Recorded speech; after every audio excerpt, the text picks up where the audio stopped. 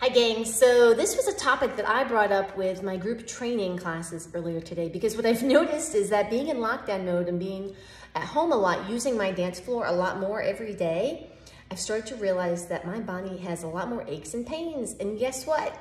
I realized that I don't have as soft of a sub flooring as I should, especially for higher impact moves like Highland dancing, right? So right now I'm in my basement and I have a commercial gym rubber flooring which has no additional padding, okay? But then they also have this dance floor, not this foam one, but this dance floor here that I use and it's on top of the rubber flooring. Again, no additional padding. Now, Pepper seems to really like it, but it doesn't provide any additional support for your joints. So what's happening is day in and day out, now that I'm here a lot more during my lockdown mode, I'm actually putting a lot more stress on my joints and my bones and my muscles. And so I'm starting to really feel it. Um, and that can lead to overuse injuries, right? So you can have shin splints that start to creep up.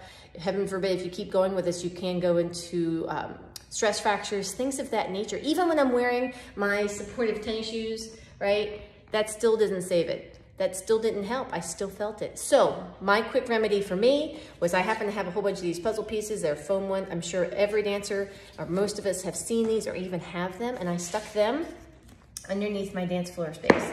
And guess what? Within one day of teaching classes, no aches or pains. And that's what it was, okay? Just day in and day out of higher impact movements on a really hard floor. So my question is to you is, what are you dancing on?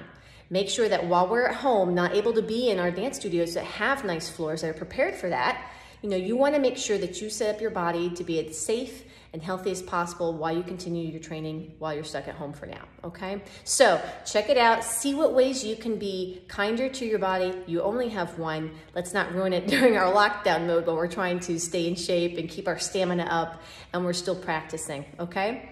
If you have any questions or comments, leave your comments below. I'd love to keep hearing from you guys, especially while we're staying, trying to stay connected during this time.